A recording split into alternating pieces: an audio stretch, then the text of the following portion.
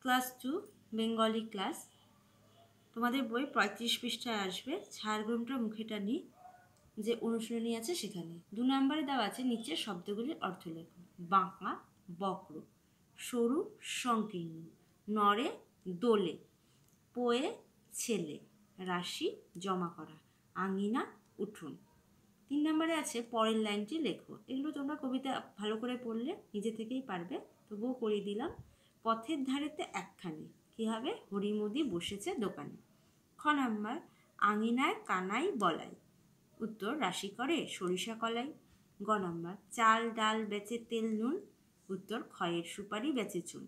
ঘ নম্বর, বড় বউ, মেজ বউ মিলে। উত্তর, ঘুটে দেয় ঘরের পাঁচিলে।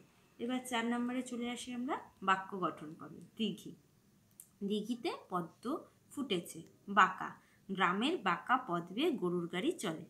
দোকান, আমাদের পাড়ার দোকানটির মিষ্টি খেতে খুব ভালো। আঙিনা ছোট শিশুটি আঙিনায় হামাগুড়ি দিচ্ছে।